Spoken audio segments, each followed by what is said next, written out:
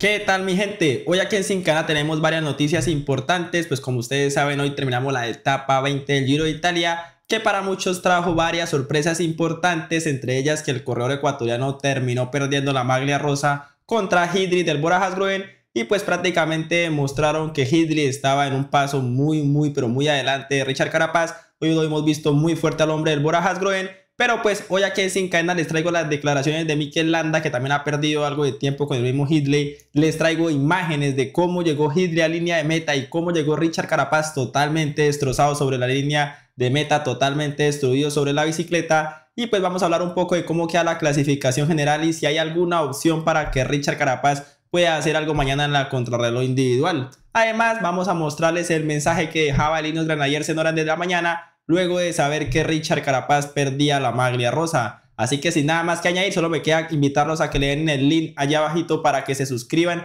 y también para que vayan directamente a la página de Instagram y sigan la página para seguir creciendo esta bonita comunidad. Ahora sí, vámonos directamente a escuchar qué era lo que decía el corredor español Miquel Landa de esta etapa número 20. Ahí entrevistado por Alberto Contador.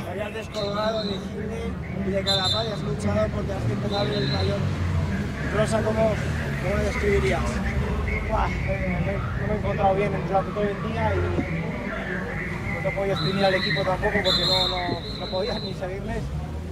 En cambio que al final pues eh, me he regulado un poquito, al final he visto que, Richie estaba ahí y, iba menos, ¿no? Y yo pues contra más arriba estaba mejor, eh, me iba encontrando y, bueno, pues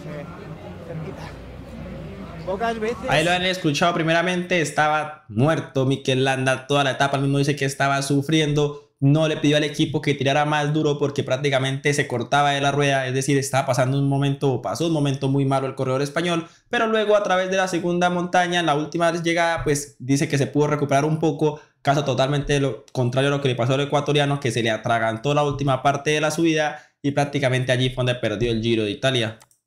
Te he visto con la cara tan desfigurada como la que tienes ahí. Sí, he sufrido mucho pobre, la verdad. Y eso que tú eres de los que juega al póker, ¿eh? que siempre llevabas una cara y parecía que no, que no respirabas. No, hoy te ha tocado sufrir.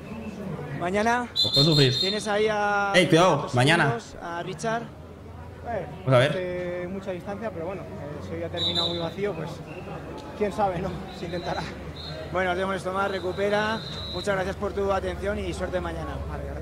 Interesante lo que dijo Miquel Landa el día de mañana porque prácticamente Contador le dice que si quiere ascender a la segunda posición de Richard Carapaz, dice Miquel Landa que ve muy lejos de esa distancia, 26 segundos los ve muy, muy, pero muy difícil, pero él mismo dice que al terminar tan vacíos, o sea, al terminar totalmente sin nada de energías, pues se podría intentar algo mañana. Sabemos que Richard Carapaz, esa fue la forma en la que terminó, terminó prácticamente sin un gramo de energía y pues la forma de recuperar para mañana va a ser algo muy importante para poder seguir sosteniéndose ahí en ese segundo puesto como subcampeón del Giro de Italia.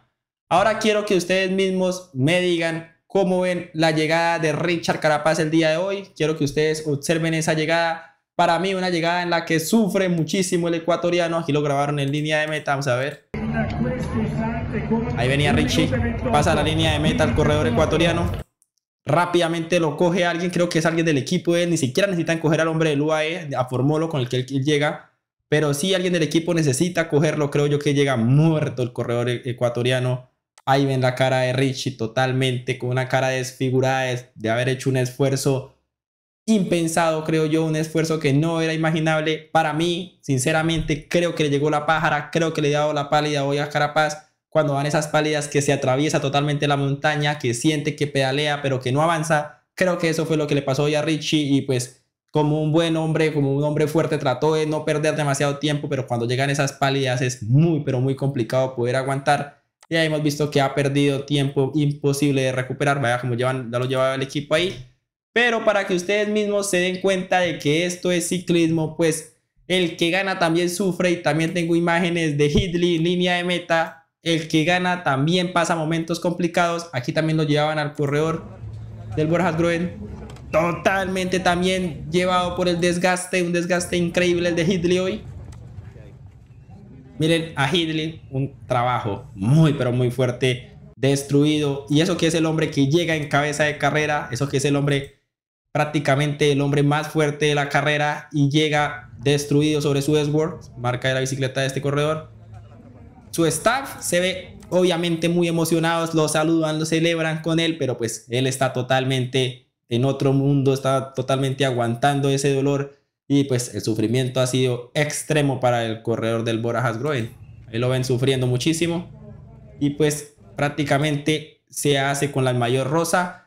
Entonces luego de esto, este es el mensaje que ponía Líneos Granadiers en su cuenta oficial de Twitter luego de saber que el corredor ecuatoriano perdía la camiseta, perdía la posibilidad de poderse coronar campeón del Giro de Italia. Acá tienen la imagen que posteaba, la imagen del corredor ecuatoriano totalmente vestido de rosa, como ya lo estábamos acostumbrando a ver en estos últimos días, pero que hoy ha perdido ese maillot y posteaba este mensaje, pues prácticamente en inglés, sabemos que es un equipo británico, que decía lo siguiente, lo dio todo, es desgarrador para Richard Carapaz y el equipo cuando se quita el rosa en la subida final. Ahora ocupa el segundo lugar en la clasificación general de cara a mañana.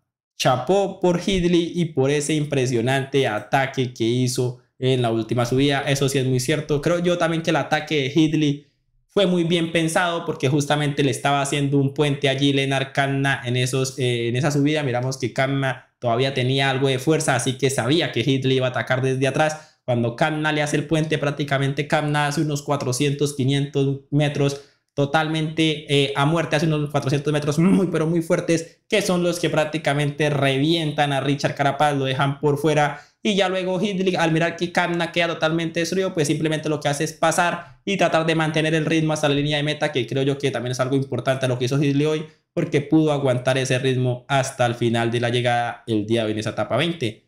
Como queda la clasificación general luego de la etapa 20, pues quedamos con Hidley, con cabeza de carrera, con el mayor rosa. Allí vemos el puesto que baja Richard Carapaz y queda a 1.25. Mikel Landa 1.56, Vicenzo Nibali a 1.57, Pello Bilbao a 8.55, Jan Hir a 9.07, creo yo que un Jan Hir que se está haciendo un buen Giro de Italia. Pero aquí la noticia son estos tres corredores que van en la punta de cabeza de carrera, que van en la clasificación general. Varios se preguntan si Carapaz tiene opciones con Hidley. Yo sinceramente creo que mañana la contrarreloj no es para poder descontar un minuto y 25 segundos. Es muy complicado para el corredor ecuatoriano. Además ha terminado con un desgaste bastante, pero bastante amplio. Y creo yo que mañana pues van a ser escasamente 10 o 15 segundos que se puedan allí quitar. Son tres hombres que no van bien en la contrarreloj, son tres hombres que no son expertos en eso de la contrarreloj, así que para que se marquen diferencias va a ser muy complicado, como lo dijo Mikel Landa, obviamente él lo va a intentar, pero va a ser complicado que pueda superar a Richard Carapaz por esos 26 segundos que le lleva el corredor ecuatoriano. Tendría que atravesarse de una manera increíble Carapaz para que Mikel Landa le pueda quitar ese tiempo y aún más difícil todavía con Hidley que está prácticamente a 1.51 y a 1.25. Creo yo que si mañana sea un día totalmente normal, vamos a ver que la clasificación general va a quedar de esta misma manera. El mejor colombiano fue Santiago Buitrago, muy buen giro de Italia, el corredor colombiano, posición número 12 a 23 minutos. Creo yo que un buen giro para este jovencísimo corredor de apenas 22 años. Y pues ahí Vincenzo Nibali terminando su último giro de Italia, su carrera profesional en un top 5 demostrando un gran nivel. Así que les dejo mi gente las noticias del día. Dejen ustedes ahí en los comentarios qué piensan al respecto de las imágenes de cómo llegó Richard Carapaz y el mismo corredor Hindley a línea de meta. Gracias por ver este video y mañana muy pendientes a la última etapa pues traeremos el resumen de la contrarreloj del día. Gracias por ver y nos veremos en uno próximo.